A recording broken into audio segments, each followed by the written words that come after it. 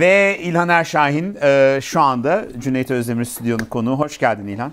bulduk. E, hep biz sana gelecek değiliz ya yani. Bir de sen bize gel New biz, York'ta. biz de gelelim bazen ya. Çünkü New York'a geldiğimizde biz soluğu bir şekilde e, sağa gidiyoruz, sola gidiyoruz ama Nublu'da alıyoruz. Çünkü 2006 yılından beri e, caz müzisyenleri. 2002. 2002 özür Evet. dilerim. 2002'den beri e, caz deyince akla gelen en e, ilginç yerlerden bir tanesi. 2002'li yıllardan beri geliyorum. İlk geldiğimizde biraz tırsıyorduk senin kulübe gelirken. Değil mi? Biraz gelmek belalıydı oralara. Tabii. Değil mi? Şimdi değişti. Manhattan o zaman da bayağı farklıydı. Ama görüyorsun şimdi böyle stüdyolar da var. Yani değişti yani. Bayağı değişti. Senin çok acayip bir hayatın var ya. Senin hayatın yollarda geçiyor yani. Bir Rio'dasın, bir İstanbul'dasın, bir Berlin'desin, bir New York'ta. Sen nerede yaşıyorsun? New York'ta mı yaşıyorsun? Vallahi ben her sabah kalkıyorum biraz. Ne yapıyorum diye kendime soruyorum. Soruyor musun hangi şehirdeyim, hangi ülkedeyim? Öyle değil ama yani bunu hakikaten bu doğru yol mu doğru değil mi filan soruyorum tabii ki. Ama öyle müzisyenlik öyle artık yani ya burada diyelim Broadway'de çalacaksın her gün orada böyle öyle bir iş yapacaksın müzisyen olarak ya da dünyayı gezmek lazım yani orada konser şurada konser çünkü aynı şehirde hep konser yapamıyorsun ya onun için İlhan bir yandan dünyayı geziyorsun, müzisyenlik yapıyorsun ama bir yandan da bir plak label'ın var evet ve bir de club'ın var yani. Caz kulübün üç var. tane oldu var. Üç tane de caz kulübü var. Yani evet. Yani eski Nublu var, yeni Nublu var ve yeni, yeni Nublu'nun üst katı da var. O da başka bir Evet. olay. Şimdi üç ayrı işten bahsediyoruz aslında. Evet. Dükkan böyle mi dönüyor biraz? Yani ben de Ekmek parası mı diyorsun yani? vallahi anlamıyorum ama öyle, öyle oldu ya. Ben aslında hiç planlamadım. Yani böyle business açmak ve canlı müzik bir mekan uğraşmak düşünmüyordum ama öyle oldu. Sanki, Kolay bir iş değil herhalde bunlar. Yok kolay değil vallahi ya. Bugün mesela bütün gün böyle vergiler, taxlar, accountantlarla konuştum falan yani zor. Ya çok komik bir şey anlatacağım. Ben bir defa e, bu ikinci Nublu'yu açtığın ne zamandı? 3-4 yıl oldu herhalde. 5 yıl mı oldu? Evet. Yo yeni aslında iki yıl evvel açtı. İki yıl sonra kapandı. Sonra Evet. bir de açıldı falan. Şimdi şöyle bir sahne hatırlıyorum. Ben eski Nublu'ya gittim İlhan'a. Ee, müzik dinliyorum. Hatırlıyor musun o geceyi? İlhan dedi ki ya gel dedi seni bir yere götüreceğim dedi. Ben dedi burayı devralmayı düşünüyorum dedi. Yürüdük çıktık kulüpten. Gecenin biri Aynı ikisi sokakta aynı zaten, evet. sokakta bir 100 metre falan ileride. Gittik biz zili çaldık. Yukarıdan böyle İtalyan mafya Evet, filmlerinden evet, evet. çıkmış bir adam Evet, eşofmanlarla indi. Kapıyı böyle demir bir kapı. Evet. Yukarı çıktık. Herkes salsa yapıyor kulüpte. Salsa gecesiydi hatırlıyor evet, musun? hatır- hatırlıyorum. Sonra içeri girdik. Bir kapıyı daha çaldık içeride. Evet. Sıcak bir yaz gecesi. Kulüp çok sıcak. Kapı bir açıldı. Böyle bir grup İtalyan adam oturmuşlar poker oynuyorlar Evet. ciddi. Bir girdik böyle adamlar baktılar. Sen bir merhaba dedin. Oranın kaç yıllık sahibiydi bu adamlar? 30 sene. 30 senelik sahibi. İşte biraz oturduk tuhaf bir ortam var. Baya böyle film seti gibi bir ortam. Evet. Sonra çıktık. Dedim ki ya İlhan emin misin bu adamlar bacağından vurmasınlar seni. Ama her, herkes aynı, şey- aynı şey söylüyor. Herkes aynı. Nasıl? Adam 30 sene orada yani çıkmak istemedi ama şey bitti, lis, lis bitti. Nasıl? Kirası bitti. Kirası bitti. Sözleşme bitti. Sözüm bitti. Ama herkes söylüyor, İlhan sen girme bu işlere falan, bu adam falan sana vermez. Ama sonra böyle birbirini sevdik. Ondan sonra hakikaten şey oldu, İlhan artık sen benim zamanı geçti falan, 30 sene buradayım, sen al bu yere. Sonra aşağı katı zaten şey vardı, e, eski bir, bir, bir garaj. Evet. Ama kullanmıyorlardı. Yani öyle bir boş olan duruyordu. Garip aslında Avenue C, East Village, işte Manhattan öyle bir...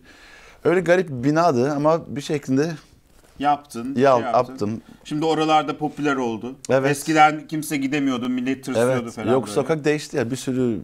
Yani eski Nublu açtığım zaman ben vardım ve bir tane daha bar vardı. Şimdi Barlar sokağı.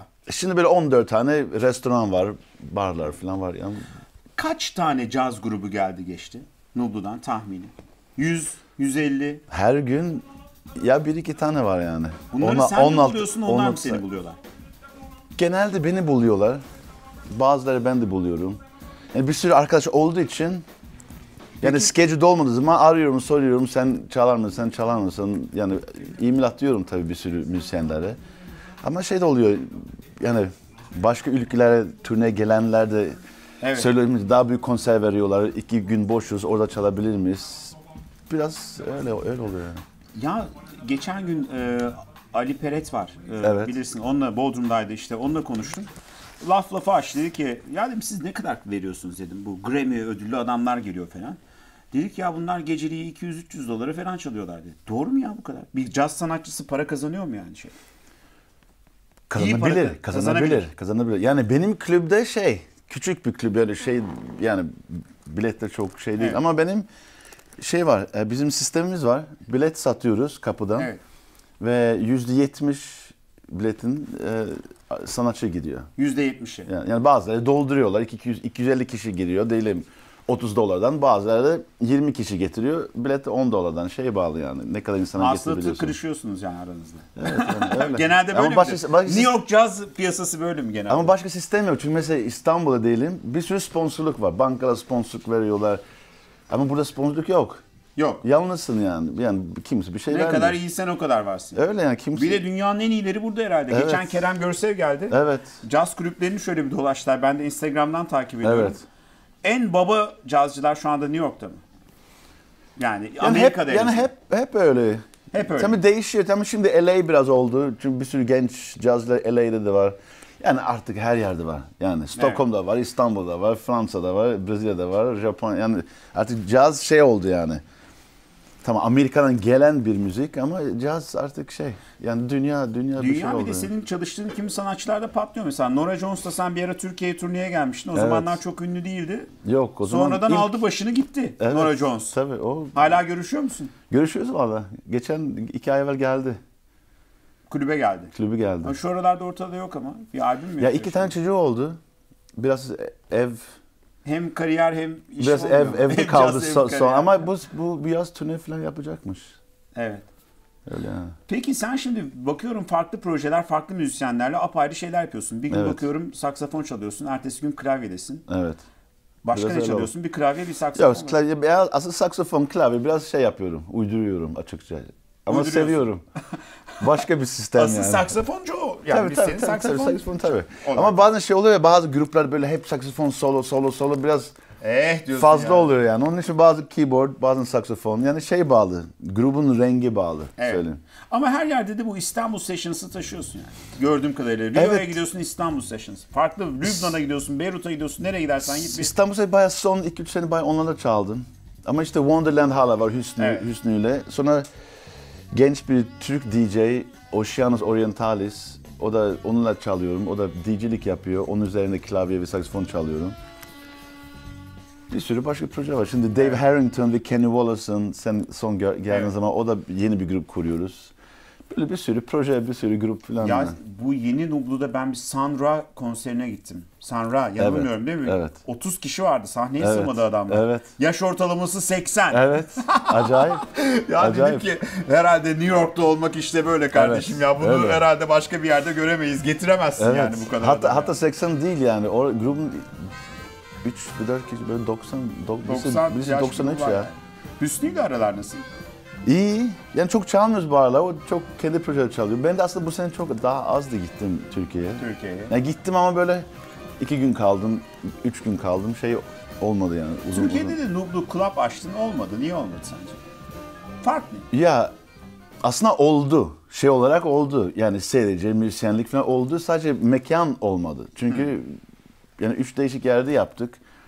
Son bir otelde yaptık. Sonra otel satıldı için başka yere taşındı. Evet. Sonra başka sıra evlere taşındık. Sonra o bina satıldı. Ondan sonra ben yeni yer açtım için uğraşmadım yani. Ama şey olarak mekan oldu yani bence. Yani insanlar hala soruyor niçin açmıyorsun bir daha çünkü lazım. Niçin açmıyorsun? Çünkü lazım. İnan. Para, Yok uğraşmak. Oraya git, buraya git. Şimdi kafam São Paulo. São Paulo. Evet. Şimdi eşin Brezilya'da. Brezilya'da evet. Yani Sen ben- São Paulo mu Rio'cu musun? Hangisi? O çünkü ayrı iki dünya. Evet ayrı iki Nedir dünya. farkı ne? Ankara, İstanbul. O kadar yani. O kadar. Ee, Rio İstanbul, Evet. São Paulo Ankara. Evet ama onu ter ters. Çünkü şey Brezilya'da São Paulo güzel.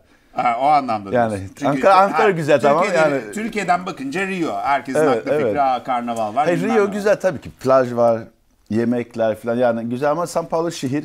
Yani Evet. şey, zaten şey diyorlar yani Güney Amerika'da New York. Brezilya Türkiye'ye benziyor mu? Kültür olarak, yaşam Bir olarak. şey var, olarak. evet bir bir şey var. Bir benzerlik var yani. İnsanlar rahat. çok fazla ilerisi düşünmeyen, bugün zorluğunu düşünüyor ama o kadar problem oldu ki düşünmüyorlar artık yani. Evet şu anda Brezilya'da işler kötü gidiyor gördüğüm kadarıyla. Ekonomi kötü Evet yani garip. İşte biraz aynı şey ya. Ben şey anlamıyorum. Mesela Brezilya'da ve Türkiye bütün müzisyenler şikayet ediyor. Çok zor, çok kötü falan. Ama sonra gidiyorsun herkes her gün çalıyor. İçiyor, yiyor. Yani bir, bir- yani burada daha zor sanki Ya, yani. Vallahi. Şöyle bir şey oldu. 2001 krizi oldu. Ekonomik kriz oldu Evet. Türkiye'de. Ee, yabancı gazeteciler geldi. Bizlerle konuşuyorlar. Ben de aldım bu adamları Çiçek Pasajı'na götürdüm. O dönem Evet, Çiçek Pasajı evet. böyle değildi. Bütün masalar full. Adam dedi ki e dedi ekonomik kriz diyorsun. Bak herkes yiyor, içiyor bilmem ne. Evet. E dedim ki kardeşim burada içmek için her zaman bir nedene ihtiyacımız var yani. Evet. Herkes mutlu mu içelim, herkes mutsuz Evet. mu yine içelim. Evet. Biraz bu kafa var Evet. herhalde insanlarda. Yani sadece yani müzikte de öyle. Hakikaten şaşırıyorum. Yani bakıyorum Instagram'a yani bütün tanıdığım müzisyenler hafta 3 gün 3 4 gün çalıyorlar Türkiye'de. Brezilya'da aynı. Burada öyle değil yani. Burada daha zor yani. Konser bulmak, sahneye çalmak, çıkmak. sahne çıkmak daha zor. Daha zor ve daha az para alıyorsun burada. Garip. Öyle mi? Evet, New York. evet. Ve daha pahalı. Ve daha pahalı. Evet. zaman Onun için yani bütün arkadaşlar herkes dünya dolaşma zorundasın yani. Yoksa yani sadece Dükkan dönmez yani şu anda. dükkan dönmez. Öyle mi? Öyle. Peki bu konserlere, turnelere gidince bir para kazanabiliyor musun? Yani. Yani. Bir de uzun abi. Amerika'dan Avrupa'ya gideyim desen 8 Evet, saat 10 saat evet, yol yani. evet, evet. Jet lag'i var, bilmem ne diyeyim? var. Ne diyeyim zor yani. Müzisyen olma. Senin çocukları kaç yaşındalar şimdi? Benim bir tane var 19 oldu. 19 oldu. Müzikle ilgileniyor mu? Yok. Ne iş yapıyor? O biraz şey girdi ya. Businessman. Yok yok. İşleri yok götürüyor. kı- kız o şey böyle fashion o şey aslında Paper Magazine biliyor musun? Evet, Paper evet. Mag- Onun için çalışıyor. Ve bayağı güzel bir bir pozisyon aldı orada. Evet. Şimdi Bak, wow diyorlar buradan. ekip. Evet. 19 evet. Girmek kolay değil yani öyle. Şimdi Vogue Italia onu çağırdı. Onun, Vay. onun şeyler Wow. gördü. Evet bayağı iyi gidiyor yani. Bakalım. İlhan e, yeni albüm çıkartıyorsun herhalde. Ne zaman? Çıkartıyorum. Ee, Mayıs'ta çıkacak. İlginç bir albüm aslında. Çünkü Nasıl?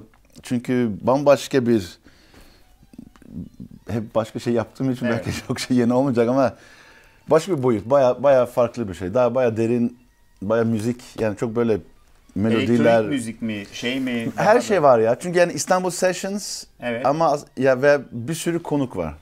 Erik Trufas var, Evet. Arto var, Nils Petter var, İbrahim Maluf var. Sonra 3-4 tane daha var. Yani bayağı şey. Kocaman bir böyle jam yaptık ama şey gibi sine, bir, böyle Sinematografik bir şey. biraz öyle bir şey. Ya sen Sanki bir film için, bir Bak film için sen- müzik senin yaptım gibi. müziğinde hep bu var biliyor musun? Kliplerine Evet, evet. bakıyorum.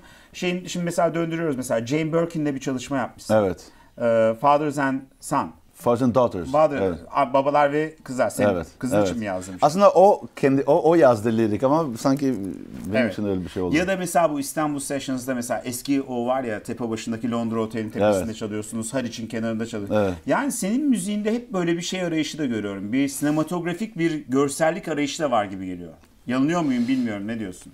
Doğru. Yanılıyorsam Yok yok yok öyle yani pe- pek düşünmüyorum aslında ben bu sinematik şey gireyim Evet. de değil ama ya ben klasik caz çalmıyorum çalmıyorum için yani kendi müziğin yapıyorum. Öyle karar verdim zaten 20 sene evvel. Yani şey standart parçalar veyahut da Latin parça yapayım, bir funk parça yapayım de bir, öyle değil yani. Kendi müziği yaptığım için Evet. öyle çıkıyor demek yani. Mayıs'ta Nublu'dan çıkıyor bu albüm. Başka bir albüm daha var mı? Başka bir albüm var. Aslında bundan daha evvel bitirdim. Evet. O da e, Ekim'de çıkacak. O da ilginç bir şey. O da iki tane bayağı Amerikan bir proje. Silver diye. Bam, yeni, yepyeni bir şey. O da iki tane usta. 75 yaşındalar. Bir tane Juni Booth bas, bas çalıyor. Eddie Henderson trompet. Sen? Benim, benim arkadaş e, Kenny Wallace'ın. Evet, onu biliyoruz. Türkiye'de Evet bayağı çalmıştın. geldi. Orada da saksafon, keyboard çalıyorum. Evet. Belki Nublu'dan Türkiye'de bir dönem mesela bu Fly'ı senin yeğenin vardı değil mi? Fly şarkısını Evet. söylediğinde kaç yaşındaydı? Ben çok beğeniyordum onu. 15 yaşında Dilara- falan Dilara söylemişti 14 Dilara. yaşındayken 14 söyle- evet. yaşında söylemişti. Evet. Şahane bir şarkı. Evet şahane. Hala şarkıcılık yapıyor mu? Tabii çok iyi gidiyor. İyi Di- gidiyor. Dilara, Dilara için çok iyi gidiyor. Lara Evet. Dilara. Şimdi Avrupa'da çalıyor birkaç konser. Türkiye'de de bayağı çalıyor. Nublu'dan da Türkiye'den Türk sanatçılar çıkartıyordum. Çıkartıyor musun hala? Ya söyleyeyim benim biraz şey oldu çünkü yeni e, kulüp açtım açtığım için son 3 yıl benim ekonomi battı. Öyle. Biraz öyle. Onun için çok yeni gruplar, çok yeni plakla şey yapamadım. Ama yapacağız. Şey Kulüp yaptık. nasıl gidiyor bari abi? Para Kulüp, yok, mu? kulüp iyi gidiyor. iyi gidiyor. Pınar götürüyor kulübü. Götürüyor valla. İyi ki Ve Pınar bu- var diyor musun arasına? Evet tabii hep her gün diyorum. Ya Pınar diye bir arkadaşımız var. Eski Roxy'ye gidenler tanırlar. Evet. Ee, biz Roxy'den tanıyoruz Pınar'ı. Pınar buraya transfer oldu. Sağ olsun her zaman da güler yüzlü. Eğer ey Türk arkadaşlar gelirseniz Lublu'ya gidip Pınar'a selamımızı söyleyin. Ee, %10 indirim olur mu bizim Olur, selamımıza? olur. %12 yaparız. %12 abi tamamdır. İlhan çok teşekkür ederim ya. Sağ Ben teşekkür New ederim York'ta özellikle bu stüdyoda seni Evet. ağırlamak gerçekten Evet, bayağı e, ya. benim için de şey oldu. Evet. Ee, hep seni 5'ne 1K'da ağırlıyorduk. Çok çok teşekkür ederim. Umarım. Türkiye'de bir yerde Tamam. konserde Mayıs'ta görüşürüz. yeni albümle geliyorum. Tamamdır. Çok teşekkürler. Görüşürüz.